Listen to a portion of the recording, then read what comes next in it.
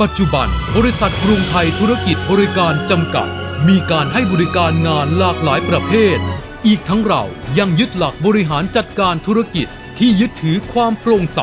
และเป็นธรรมกับทุกฝ่าย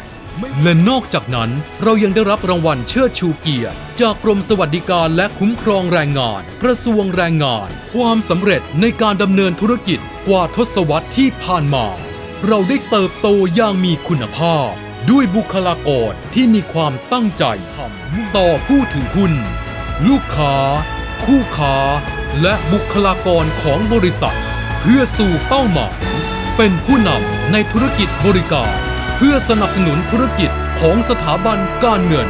และหน่วยงานภาครัฐ